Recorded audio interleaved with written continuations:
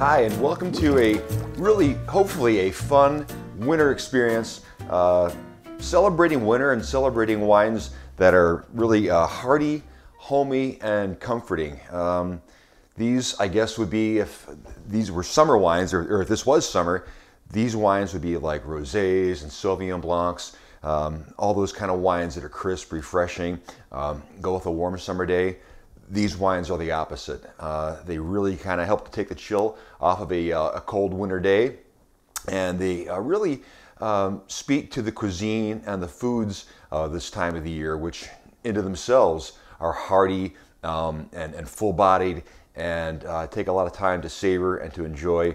And these wines really, really, really speak uh, to the, the, the, flavors of the season, if you will. These selections that we have chosen for our tasting um, all hail from our pick of the vine selection. And if you're unaware of what the pick of the vine selection uh, is all about, they are uh, hand curated wines that we uh, select that are all under $15 a bottle. So, uh, especially this time of the year after the holidays, uh, where value is one of the keywords, these wines uh, really, really over deliver. they're outstanding values, everyday wines. Um, but we believe that you uh, don't need to spend uh, a lot to get a lot. And uh, all of these wines you'll find in the Pick of the Vine set. And they really represent some diversity of grapes, styles, countries, flavors, um, and, and they're delicious, by the way. So let's, uh, let's get started. And um, once again, we have our cheese pairings. Hopefully, uh, at home you've been able to uh, at least get a few of these pairings for this event or previous events and hopefully you enjoy the pairings as much as you, as you do the wines. Um, in, in, this case, we'll always do cheeses uh, with the wines, but certainly I recommend some um, other kinds of foods that would be great with these wines as well. Our first wine of the tasting comes from, uh, from our friends uh, just across the border uh, in Ontario, at, uh, or by Niagara on the Lake, and this is the Henry of Pelham Baco Noir. Um, beautiful, beautiful winery. We've featured some of their wines in the past. And uh, these, uh, the, these folks, uh, the Speck brothers that own Henry Pelham, are really some of the leaders uh, in the, the Ontario wine movement. And they make wines that are expressive, great values, and, and delicious.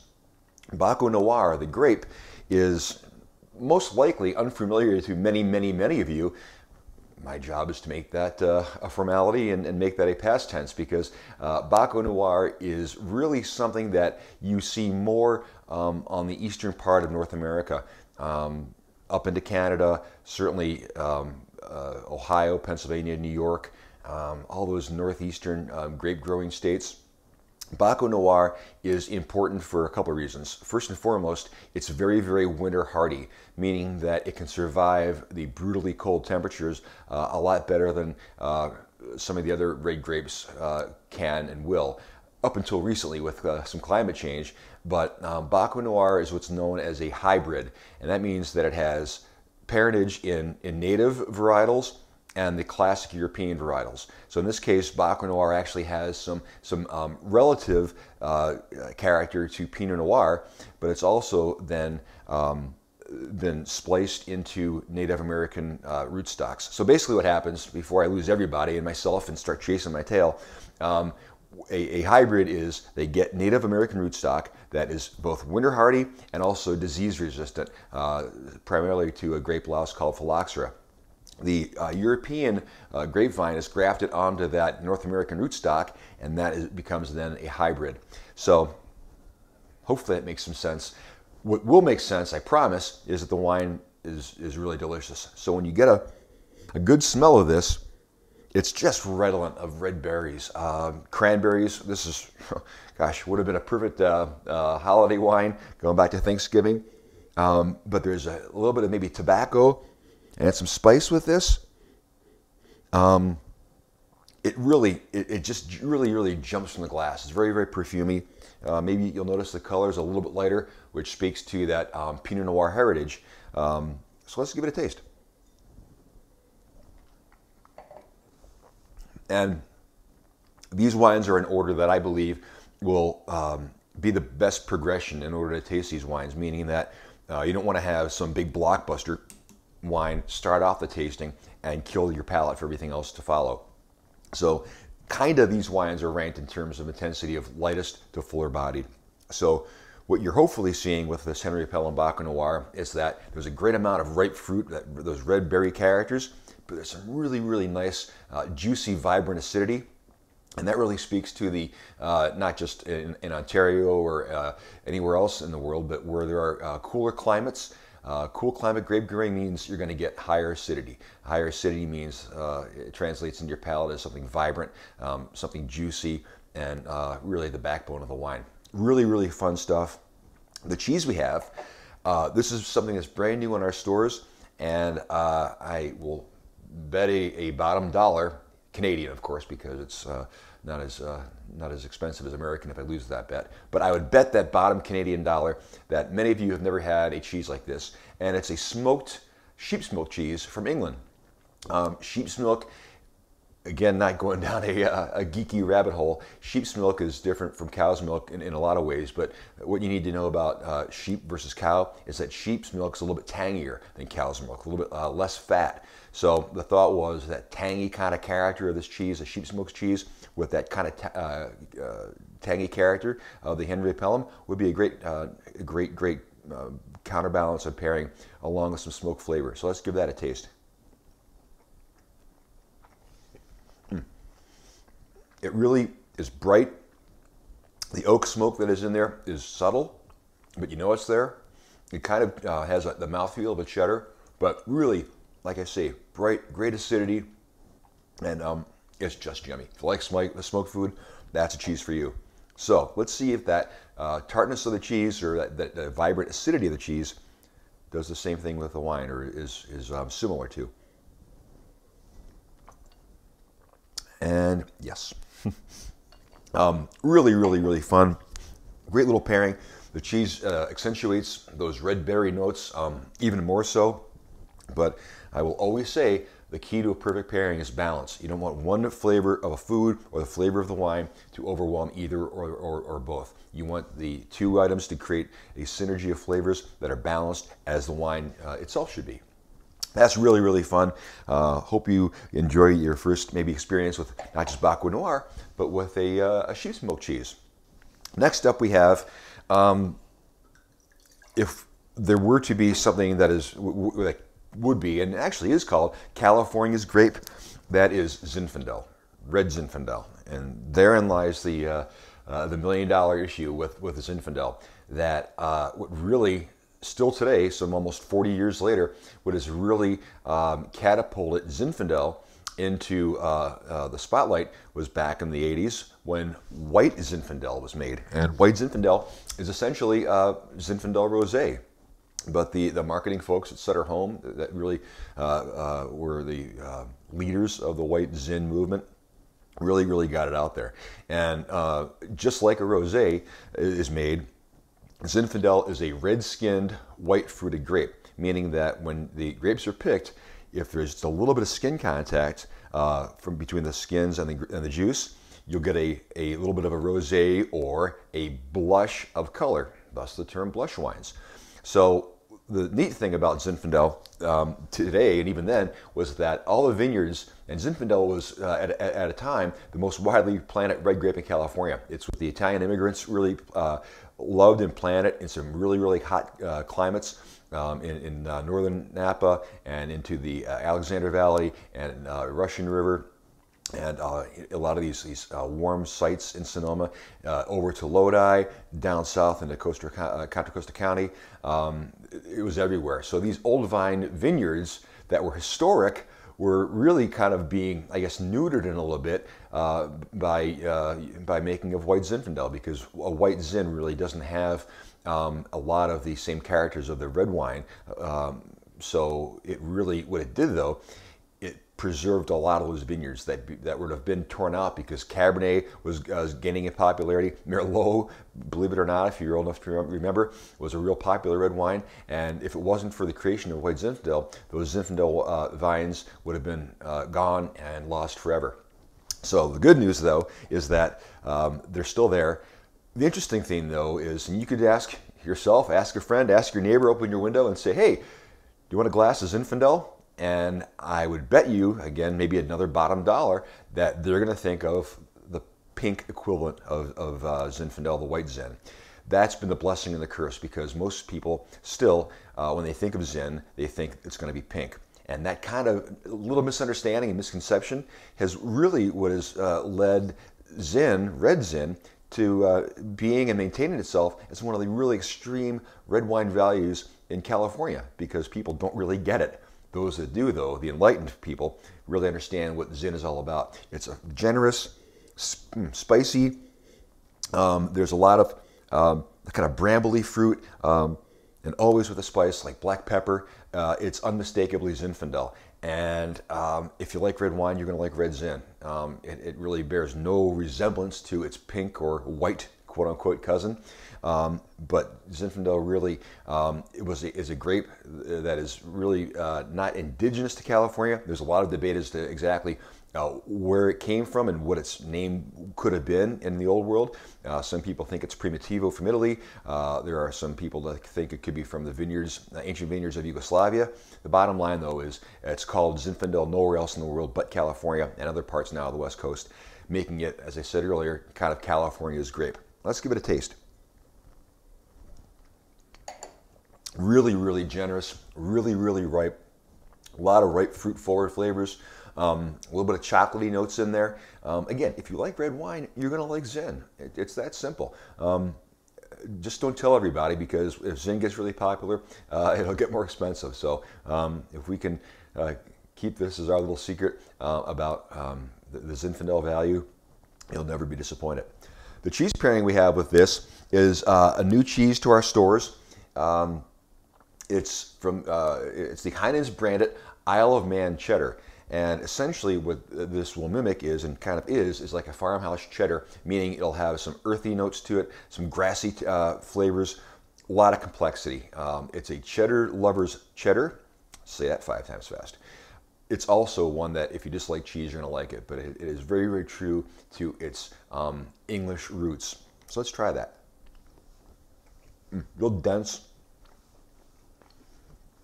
There's a nice balance of saltiness and uh, like almost sweet cream uh, flavors to it.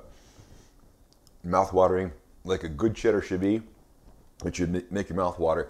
And probably you shouldn't talk when you're chewing it like I'm doing because it does pose a bit of a problem, but it's delicious. Well, let's try this with the Zin. Yeah. Mm. It's like ripeness and ripeness. Um, just a fun, um, fun wine to have with a lot of things that are just fun and easy foods. Zinfandel and pizza, classic. You can't you can't go wrong. Um, but if you want to do something a bit more elevated, um, and actually uh, in California, uh, primarily in Sonoma, um, lamb is a major, major, major uh, uh, meat out there and very popular. And uh, to do a, a lamb shoulder so you could smoke it, you could braise it, but lamb and zin with uh, a good amount of black pepper and maybe some fresh rosemary, killer. Um, you'll think you're, you know, California dreaming on a winter day with uh, with uh, the California grape and some lamb. Really, really excellent. Now we're going to move to Italy, and this is a fun uh, wine in that it's it's made uh, a bit unique or uniquely. Um, but it tastes delicious and it's unmistakably Italian. Um, it's a Valpolicella you may have heard of that. But the key that, that makes this one kind of fun and funky is it, it's made in a ripasso style. And again, uh, not going down a geek rabbit hole, but um, basically, this is a wine that is created from the, the um, I would say, the classic grapes of the region or the indigenous grapes of the region um, Corvina, Rondinella, and um, Molinara. Yeah, very Italian grapes. So, those three grapes are used to make Valpolicella. The ripasso technique involves getting pumice, grape pumice, and essentially what that is is it's the, pre, uh, the pressed skins and seeds of the, the, the byproduct of uh, when wine is being made. So it's all the skins, uh, skins seeds, and non um, non juice components that are now into the wine. So this essentially sediment uh, from Amarone. Amarone is the higher level of uh, uh, wines from uh, up in Piedmont and Verona, where these wines are from. So that pumice, those skins and seeds, are added into the, the uh, fermenting uh, Valpolicella grapes. And that pumice from the Amarone grapes adds a, a, a complexity, uh, a richness, a savoriness. Uh, it's unlike anything else. And that technique was done um, a long time ago to increase the complexity of the wines and increase the ripeness uh, and flavors because uh, up in northern Italy they can have um, uh, issues sometimes with the ripeness because if it's too cool. Uh, that was used to kind of um, uh, ensure that the, the wines would be, would be, palatable. The technique has stayed along and, and uh, has never gone away, and it creates just a, a, really unique, distinctly Italian red wine experience. So when you smell it, well, if you're an Italian wine fan, you're going to say to yourself, as I'm thinking to myself, it smells Italian. What that means, if you're not an Italian wine fan or aren't as familiar with wines like that, there's there's a, a like a dark cherry character, but um, again, whereas this is kind of cooler climate grape growing again, you can't smell acid, but you can smell um, vibrancy. You can smell um, grapes that are not overripe. Uh, they, they smell fresh of grapes versus overripe and pruny. Uh, there's a, a, richness and, and, vibrancy there that is really pretty. It's kind of spicy and um, aromatic and perfumy. Maybe some violets. Let's give it a taste. It's, um, it's amazing how much flavor there is, but how crisp it is too, how, how vibrant that acidity is, and hopefully you're getting that. Um, it really, really, really um, is bright and invites another sip. And you know, obviously, um, it would be superb with any red sauced or roasted meat Italian creation you'd want to come up with. Um, certainly, you can't over garlic this. Um, I wouldn't go too crazy in the spices, but with tomato-based sauces, one of the reasons that Italian wines work so well with uh, Italian cuisine with red sauce is you think about the acidity that's in the tomato, the, the acid, the acidity in the wine balances out the, the acidity in the tomato, and um, it really works well and pairs well together. Um, the old saying is what, uh, what grows together goes together. That's a classic example. So whereas we uh, don't have a big pot of uh, uh, red sauce going today, uh, we do have something that is Italian in its heritage, and this is a, a brand new item for us at Heinen's. It's a Gorgonzola uh, cheese spread. Uh, it's actually uh, produced in Philadelphia and sent to our stores. Gorgonzola uh, is, of course, one of the great cheeses of the world, but it's really the um, um, the epitome of Italian blue cheese. It's creamy and sweet and yummy and runny. Uh, this is actually blended with a little bit of cheddar, so you're going to get all those kind of wonderful blue cheese flavors but not overdone. So let's, um, and on a handy dandy Triscuit, uh, let's give it a taste.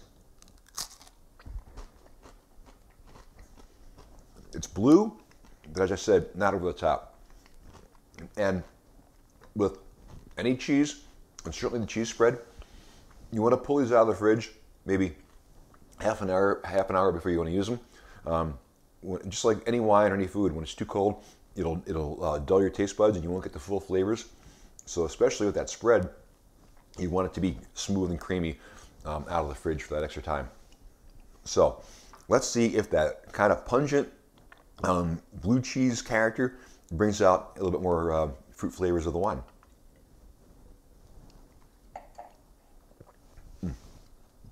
Yeah, um, it, it, brings out a depth of character that's not there on its own. Um, and sometimes with acidity, the, the, the, backbone needs that foil, that counterpart, um, to really show its true self. And in this case, with that wine, that Gorgonzola spread, the flavors really meld together. They create longer, um, more profound, and um, I guess complex flavors. So just absolutely fun. You can't go wrong with this. Um, again, any night you just want to have a pizza or do something a bit more evolved uh, that's Italian influenced. That's a really, really superb choice. Now we move along to our final wine of the tasting this evening.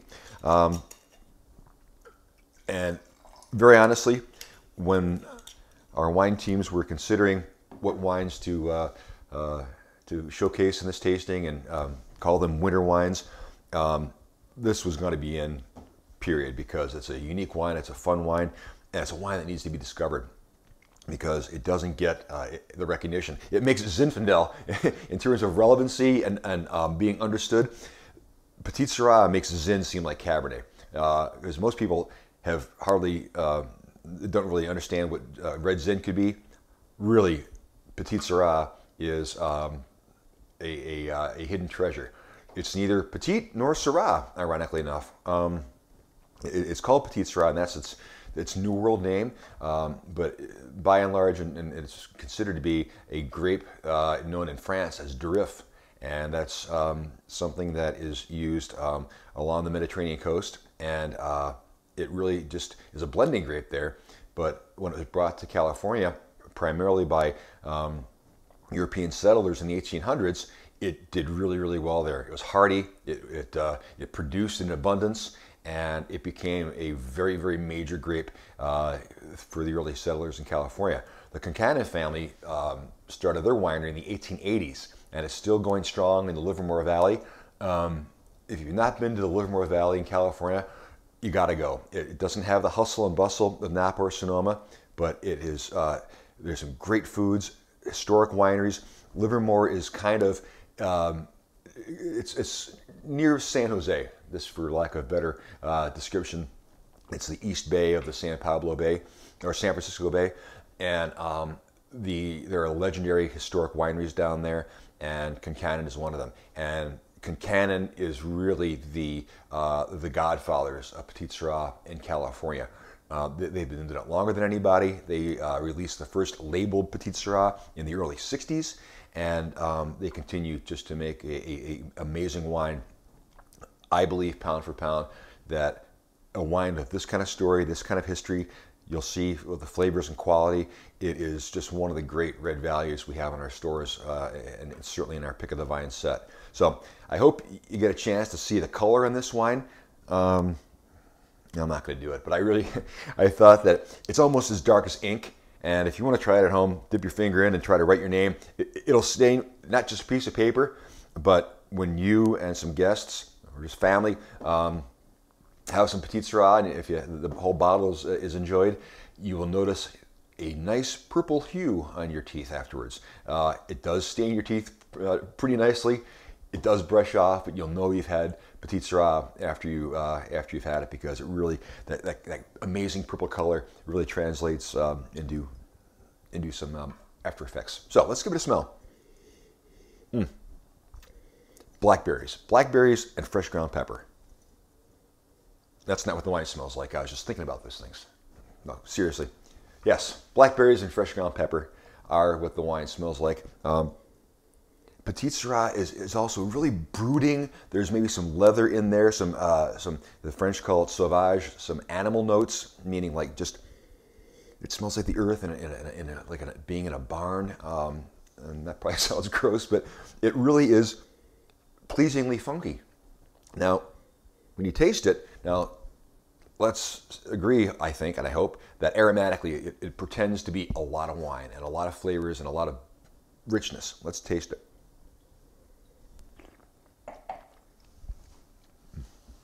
boy, hopefully you'll see that ripeness goes right through your palate.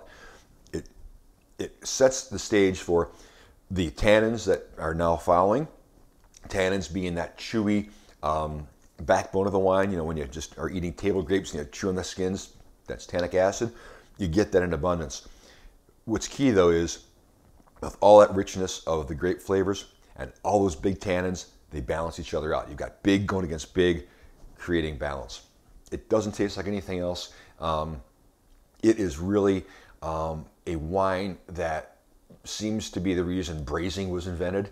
Um, and, and, honestly, uh, Petite Sirah with something hot off the grill during the summertime, or if we get a, a, a, a uh, temperate winter day, um, smoked meats, smoked beef, uh, tri-tip out in California primarily, uh, is great. But braised uh, hearty meats, um, you know, braised pork shoulder would be unbelievable. Um, it is just a wine that is hearty. It, it defines a comfort winter wine. Um, and if you've never tried it and are discovering it today for the first time, I hope you're enjoying it as much as we are in sharing it with you. Our last cheese pairing is a, uh, a, a, a, mountain style cheese. Mountain meaning uh, cheese like Gruyere, Emmentaler, all those uh, Swiss, Austrian um, cheeses up in the Alps. Um, it's called Raumtaler.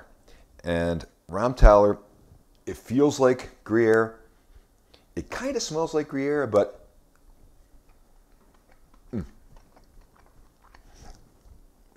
it's Gruyere's bigger, more muscular cousin. Um, so much flavor. Mouth, mouth watering again, providing a challenge to talk while, while I'm chewing it, but um, it's earthier than Gruyere. It um, you almost taste the grasses from, from where the milk was cold, and that's where earthiness is. I think a really kind of a cool description. You can really, really get that grassy fields of meadows from the milk, and just uh, tart and savory and salty. Really, really a lot of flavor. And let's see what happens when big goes with big. Mm. Well, as I said before with the blackberries, blackberries are just jumping out of the glass now when you have a really, really intense, either in this case, cheese pairing or with a food pairing. You really see how the tannins are mitigated by all the flavors of the food. And what you're left with is that beautiful, ripe blackberry um, notes that are just perfect. They, they, uh, they're fun, they're enjoyable, and they invite another sip. So that's a great way to discover Petite Sirah. So again, these are all wines that you can find in our Pick of the Vine set, um, all under $15 a bottle, all representing um, a story, um, quality, and really, really versatile uh, with, with any kind of winter kind of cuisine that you would like to uh, serve uh, on any day of the week. And they are really, really exceptional, and we hope you enjoy them, and uh, we hope you enjoy tasting them, and um, look forward to your comments. Uh, we'll see you next month for our February tasting, where uh, a little spoiler alert. Um, don't forget Valentine's Day is in February, and it's a great opportunity to find some great wines, and we will be bringing those to you um, again next month. Thanks for joining us. Hope you enjoy them. Cheers.